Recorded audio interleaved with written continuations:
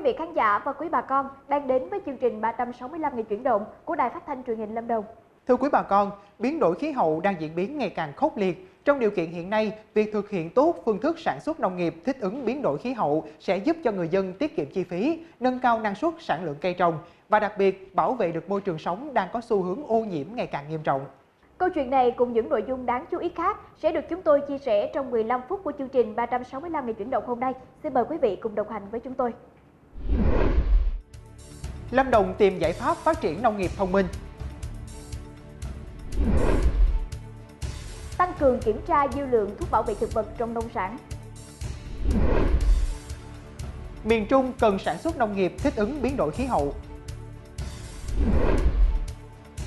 Chuyên mục con số hôm nay, xuất khẩu cá tra sang Trung Đông giảm mạnh. Chuyện nhà nông, dinh dưỡng khoa học, bài toán của nhà nông. Thưa quý bà con, Ủy ban Nhân dân tỉnh Lâm Đồng vừa tổ chức hội thảo về hiện trạng và giải pháp phát triển nông nghiệp thông minh trong điều kiện biến đổi khí hậu và hội nhập quốc tế trên địa bàn tỉnh. Hội thảo là dịp để các nhà quản lý, nhà khoa học chia sẻ kinh nghiệm, đánh giá đúng thực trạng nhằm đưa ra giải pháp tích cực phát triển nông nghiệp thông minh tại Lâm Đồng, từ đó nâng cao giá trị thương hiệu nông sản địa phương, tạo lòng tin trong người tiêu dùng. Theo thông tin từ hội thảo, giá trị sản xuất ngành nông lâm thủy năm 2018 của tỉnh Lâm Đồng đạt hơn 38.600 tỷ đồng. Nhiều nông sản Lâm Đồng đã có mặt trên thị trường quốc tế. Tỉnh có gần 55.000 hecta diện tích sản xuất nông nghiệp ứng dụng công nghệ cao, doanh thu đạt khoảng 500 triệu đồng trên một hecta một năm. Đặc biệt có một số mô hình sản xuất hoa đạt khoảng 10 tỷ đồng một hecta một năm. Trước thực tế mà các nhà khoa học phân tích tại hội thảo, thời gian tới, Lâm Đồng tiếp tục chủ động nắm bắt cơ hội và đưa ra các giải pháp thiết thực nhằm tận dụng tối đa các lợi thế, đồng thời giảm thiểu những tác động tiêu cực của cuộc cách mạng công nghiệp 4.0. Dự kiến đến năm 2020, toàn tỉnh có trên 60.000 hecta ứng dụng công nghệ cao, trong đó có 400 hecta ứng dụng công nghệ cảm biến tự động, tăng đàn bò sữa bình quân 25% một năm. Đến năm 2025, có trên 90% doanh nghiệp triển khai phần mềm quản lý chuỗi truy xuất nguồn gốc, đẩy mạnh phát triển ứng dụng công nghệ đèn LED, robot, đồng thời tiếp tục thực hiện đề án xây dựng thành phố Đà Lạt trở thành thành phố thông minh và đề án thí điểm xây dựng huyện Đơn Dương đạt nông thôn mới kiểu mẫu về nông nghiệp ứng dụng công nghệ cao theo hướng thông minh, triển khai đề án thí điểm xây dựng mô hình làng đô thị xanh tại xã Xuân Thọ, thành phố Đà Lạt. Đảm bảo chất lượng nông sản cung ứng cho người tiêu dùng là mục tiêu quan trọng mà tỉnh Lâm Đồng luôn quan tâm. Bởi vậy mà bên cạnh việc khuyến khích bà con nông dân và các doanh nghiệp tăng cường ứng dụng những thành tựu khoa học kỹ thuật mới, ngành nông nghiệp Lâm Đồng còn tiếp tục duy trì công tác quản lý, nhất là trên lĩnh vực quản lý dư lượng thuốc bảo vệ thực vật.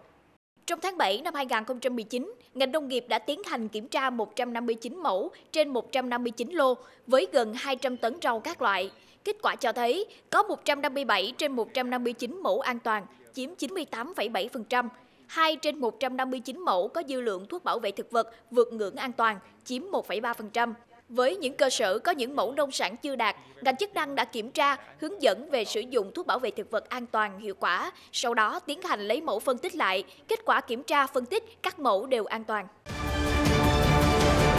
Trước tình hình dịch bệnh gây hại đàn vật nuôi diễn biến phức tạp, nhất là trên đàn heo,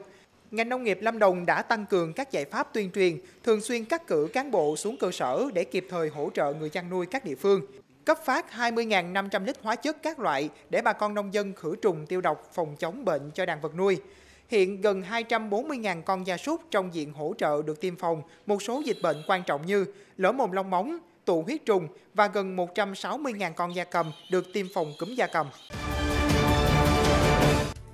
Liên tục chương trình, miền Trung cần sản xuất nông nghiệp thích ứng biến đổi khí hậu. Chuyên mục con số hôm nay, xuất khẩu cá tra sang Trung Đông giảm mạnh. Chuyện nhà nông, dinh dưỡng khoa học, bài toán của nhà nông. Thưa quý bà con, sâu keo mùa thu vẫn tiếp tục gia tăng, gây hại tại nhiều địa phương trên cả nước. Tại tỉnh Gia Lai, số liệu thống kê mới đây của Sở Nông nghiệp và Phát triển Nông thôn tỉnh này cho thấy diện tích ngô bị nhiễm sâu keo mùa thu trên địa bàn tỉnh tiếp tục gia tăng và dự báo sẽ còn tăng nữa trong thời gian tới. Qua tổng hợp báo cáo các địa phương, đến ngày 22 tháng 7, sâu keo đã xuất hiện gây hại ở 12 trên 17 địa phương của tỉnh, với tổng diện tích ngô bị nhiễm hơn 6.100 hecta, chiếm 19% tổng diện tích ngô vụ mùa đã gieo trồng. Qua điều tra đánh giá, hầu hết giống ngô được trồng trên địa bàn tỉnh đều nhiễm sâu keo mùa thu. Tuy nhiên, các giống ngô biến đổi gen mức độ gây thiệt hại nhẹ hơn, nhiễm nặng chủ yếu là các giống ngô nếp địa phương. Trước những diễn biến phức tạp của loại sâu này, các địa phương đã tổ chức các biện pháp phòng trừ theo hướng dẫn của Cục Bảo vệ Thực vật. Đến đây đã tiến hành phòng trừ cho hơn 3.700 hecta ngô bị nhiễm sâu keo mùa thu. Trong đó gần 2.200 hecta được xử lý bằng các loại thuốc bảo vệ thực vật và đã mang lại hiệu quả khá tích cực. Trong một diễn biến khác, để phòng chống loại sâu nguy hiểm này tại các tỉnh phía Bắc, mới đây Bộ Nông nghiệp và Phát triển Nông thôn phối hợp với Ủy ban Nhân dân tỉnh Sơn La tổ chức hội nghị tăng cường công tác chỉ đạo phòng chống sâu keo mùa thu tại các tỉnh phía Bắc với sự tham gia của gần 200 đại biểu đến từ 25 tỉnh. Sâu keo mùa thu mới xâm hại vào Việt Nam từ vụ đông xuân năm 2019, song có tốc độ lây lan nhanh tại khắp các vùng trồng ngô trên cả nước. Vụ hè thu năm 2019, các tỉnh phía Bắc theo kế hoạch trồng 267.387 hecta, đã trồng 216.637 hecta. Trong đó diện tích nhiễm toàn vùng là 7.053 hecta. Các địa phương đang nỗ lực thực hiện nhiều giải pháp nhằm phòng trừ sâu hại, song thực tế triển khai còn nhiều khó khăn là cái đối tượng sâu keo này là nó mới xuất hiện, cái biện pháp phòng trừ nó vẫn chưa chủ động, vẫn còn à, lúng túng và thuốc thì ờ, vẫn chưa có cái thuốc đặc trị. Trong khuôn khổ chương trình, các đại biểu đã tập trung đánh giá tình hình gây hại của sâu keo mùa thu khu vực phía Bắc, tổng kết những giải pháp đã triển khai, từ đó rút ra bài học kinh nghiệm trong công tác phòng trừ sâu keo mùa thu. Hiện nay thì chúng tôi cũng đang cho thí nghiệm làm các cái bẫy gọi là bả chua ngọt để làm và hiện nay đang bắt được trưởng thành rất là tốt thì cái việc này nó phục vụ cho cái việc thứ nhất là để điều tra phát hiện cái sự xuất hiện của cái loài này ở ngoài đồng nhưng cái thứ hai là nó cũng là một cái giải pháp để chúng ta giảm bớt được cái lượng mật độ trưởng thành theo lãnh đạo Bộ Nông nghiệp và Phát triển Nông thôn, để giảm thiểu thiệt hại do sâu keo gây ra, rất cần có sự chung tay của hệ thống chính trị các cấp để thực hiện có hiệu quả, đồng bộ giải pháp nhằm giảm thiểu thiệt hại về năng suất cũng như chi phí phòng trừ cho nông dân trồng ngô. Xin được chuyển đến với những thông tin đáng chú ý khác. Còn khoảng 2 tuần nữa, nông dân Cà Mau mới bước vào mùa thu hoạch vụ lúa hè thu. Nhưng thời điểm này, nhiều thương lái đến đặt cọc thu mua với mức giá khá cao nên nhiều người phấn khởi. Thông tin này được coi như tin rất vui vì trước đó nhiều địa phương như Đồng Tháp, Hậu Giang, Long An, nông dân đã phải chịu bán lúa hè thu thu hoạch sớm với giá thấp.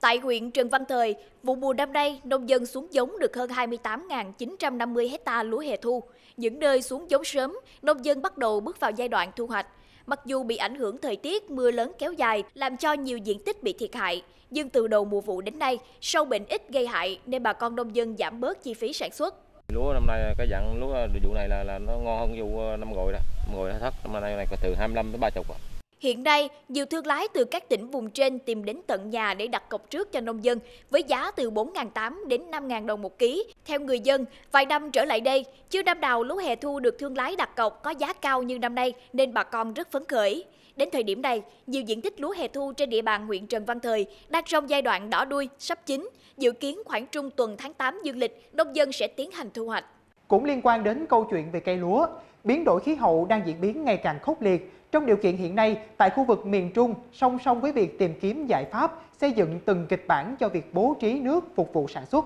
nhiều địa phương trên địa bàn tỉnh Quảng Nam bắt đầu triển khai phương thức sản xuất nông nghiệp thông minh đã nhận được sự hưởng ứng từ người dân. Vụ hè thu này, gia đình ông Nguyễn Đình Quốc, xã Tam Hòa, huyện Núi Thành sản xuất 6 sào lúa theo phương thức mới. Ông Quốc áp dụng phương thức xạ hàng, giảm một nửa lượng lúa giống, tưới nước tiết kiệm theo hình thức khô ướt xen kẽ, sử dụng phân bón hữu cơ, và giảm tối đa việc sử dụng thuốc hóa học, nhưng cây lúa vẫn phát triển tốt, ít sâu bệnh và tiết kiệm khá nhiều chi phí cho nhà nông. Trước đây thì chúng tôi ờ, sợ một sào là khoảng cỡ độ là 6 kg trên một sào. Nhưng mà hiện nay sợ ờ, sợ hơn thì nó giảm cái lưu lượng là giống là có 3 kg rưỡi trên một sào nó vừa là thảnh thơi cái lúa nó phát triển cái lúa để nhánh tóc ít sâu bệnh giảm được cái lưu lượng thuốc và giảm được cái công là bỏ sức ra mà có nhiều lần là thăm đồng rồi nhổ cỏ nó này khác riêng huyện núi thành vụ này hợp tác xã nông nghiệp Tam Hòa đã cung cấp cho nông dân 3,5 tấn lúa giống chống chịu thời tiết bất lợi kháng bệnh tốt cho nông dân địa phương sản xuất 50 hecta lúa hè thu theo phương thức sản xuất nông nghiệp thích ứng biến đổi khí hậu. Làm sao cho bà con nhận thức được cái thực trạng biến đổi khí hậu hiện nay đặc biệt là vấn đề phát thải khí nhà kính cho nên việc giảm được mật độ xạ thì cái lượng phát thải khí nhà kính nó sẽ thấp xuống thuốc bảo vệ thực vật bà con phun là giảm hơn so với ngoài mô hình là từ 2 đến 4 lần Sản xuất lúa tốt, phương thức sản xuất nông nghiệp thích ứng biến đổi khí hậu sẽ tiết kiệm chi phí 2 triệu đồng trên một hecta. Tính toán sơ bộ, vụ hè thu năm nay, nông dân Quảng Nam sản xuất 1.120 hecta lúa tại 7 huyện, thành phố sẽ tiết kiệm hơn 2,2 tỷ đồng. Nhưng quan trọng hơn vẫn là thay đổi nhận thức của bà con nông dân trong bảo vệ môi trường, bảo vệ nguồn nước và sản xuất nông nghiệp sạch. Quý vị và bà con đang theo dõi chương trình 365 ngày chuyển động và trong nội dung tiếp theo, mời quý bà con đến với chuyên mục Con số hôm nay. 70,8 triệu đô la Mỹ, đây là giá trị xuất khẩu cá tra sang thị trường Trung Đông trong 6 tháng đầu năm nay. Hiệp hội chế biến xuất khẩu thủy sản Việt Nam cho biết, trong 6 tháng đầu năm nay, xuất khẩu cá tra sang thị trường Trung Đông đạt 70,8 triệu đô la Mỹ, giảm 8,6% so với cùng kỳ năm trước. Nếu như năm ngoái cá tra Việt Nam gia tăng xuất khẩu sang hai thị trường lớn nhất khu vực là UAE và Ai Cập để cố gắng duy trì tăng trưởng ở khu vực Trung Đông, thì bước sang nửa đầu năm nay, giá trị xuất khẩu sang hai thị trường này có dấu hiệu giảm và chững lại. Trong đó, UAE vẫn tiếp tục là thị trường nhập khẩu lớn nhất cá tra từ Việt Nam. Tuy nhiên, giá trị xuất khẩu cá tra Việt Nam sang thị trường này lại giảm 27,9% so với cùng kỳ năm trước. Thị trường Ai Cập vẫn là thị trường lớn thứ hai, nhưng giá trị xuất khẩu chỉ đạt 18 triệu đô la Mỹ trong 6 tháng đầu năm 2019. Trong top 10 thị trường xuất khẩu cá tra lớn nhất Việt Nam thì ASEAN và Trung Đông là hai khối thị trường được đánh giá là quan trọng và rất đáng lưu ý cho các doanh nghiệp xuất khẩu cá tra Việt Nam. Tuy nhiên, cho tới nay, thị trường Ả Rập Xê Út vẫn chưa mở cửa trở lại. Đây là một thiệt thòi lớn cho các doanh nghiệp xuất khẩu cá tra Việt Nam trong thời gian qua. Hiện nay, các doanh nghiệp xuất khẩu cá tra vẫn đang trông chờ vào các động thái tích cực từ phía Ả Rập Xê Út để hoạt động xuất khẩu được bình thường trở lại.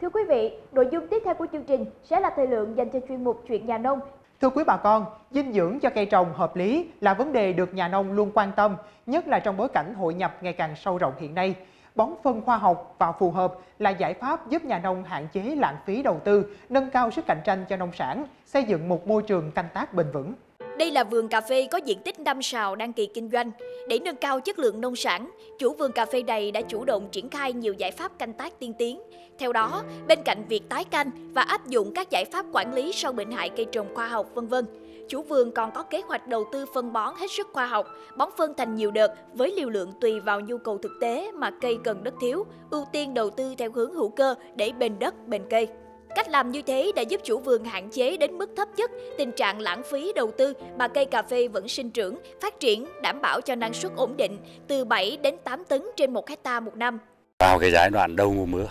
thì ban đầu như vậy là bản thân bọn thêm cái lấn bước đầu để nó tạo cái bộ rễ ờ, từ tháng 6 đầu đi cho đến vào khoảng tháng 10 á, thì bình quân một tháng rưỡi tôi bón một lần phân thì tỷ lệ bón thì cũng không không phải là nhiều đâu Thế là một gốc của tôi chỉ bón cả khoảng 5 lạng thôi. Nếu mà nó cả 4 lần phấn thì quân binh một gốc nó cả 2 kg. Trong bối cảnh vật tư nông nghiệp tăng từ 10 đến 15%, giá cà phê trên thị trường ở mức thấp, khoảng 30.000 đồng một ký cà phê vối nhân xô. Giải pháp đầu tư nói trên là hết sức cần thiết. Dinh dưỡng cho cây trồng hợp lý còn là cách hạn chế tình trạng ô nhiễm môi trường sản xuất, giúp nhà nông giảm chi phí đầu tư. Hiện nhiều nông hộ còn phát triển nhiều mô hình trồng sen với nhiều tầng canh tác. Bằng cách này, bà con nông dân có thêm thu nhập, hạn chế lãng phí nhờ tận dụng hết nguồn phân bón được đầu tư trong vườn. Trồng à, sen canh thì nó sẽ năng suất hơn, thu nhập nhiều hơn. Đầu tư thì chị à, chia nhỏ phân ra tại vì cây nó còn nhỏ thì ví dụ như là bình thường thì đón bón 3 lần một năm nhưng chị bón là 5 6 lần. Vi sinh thì nó sẽ làm cho đất tốt hơn, đất nó không bị à, bào mòn đấy người ta bón phân à, hóa học thì thường là nó, nó lâu dần rồi đất nó sẽ bị uh, chai. Hàng năm thì bên em vẫn tổ chức các cái buổi hội thảo để hướng dẫn cho bà con làm sao bón phân cho có hiệu quả. Ví dụ như là những cây cà phê vào lúc giai đoạn đầu mùa mưa hướng dẫn bà con là bón những cái công thức có hàm lượng đạm và hàm lượng lân cao còn hàm lượng kali lại vừa phải. Và đến giai đoạn 2 giai đoạn 3 gần thu hoạch á, công thức có hàm lượng đạm và kali cao lân nó vừa phải nhất nước nhì phân, tam cần tứ giống. Đó là kinh nghiệm đã được nhiều thế hệ làm nông rút kết qua thực tiễn sản xuất. Trong bối cảnh hội nhập ngày càng sâu rộng như hiện nay, bài học đó càng có ý nghĩa bởi nó giúp bà con nông dân thực hiện được nhiều mục tiêu quan trọng mà một nền nông nghiệp tiên tiến đặt ra. Đó là giảm chi phí đầu tư, nhưng năng suất và chất lượng nông sản vẫn ổn định, môi trường canh tác bền vững. Nội dung chia sẻ đáng chú ý vừa rồi trong chuyên mục Chuyện nhà nông cũng đã khép lại chương trình 365 ngày chuyển động hôm nay. Quý vị và bà con quan tâm, đóng góp, chia sẻ thông tin, vui lòng gửi email về cho chương trình tại địa chỉ 365 ngày chuyển động ltv.gmail.com hoặc có thể gọi điện thoại về số 02 633 829 930. Khánh Tường và Ánh Nguyệt xin kính chào tạm biệt và hẹn gặp lại trong chương trình ngày mai.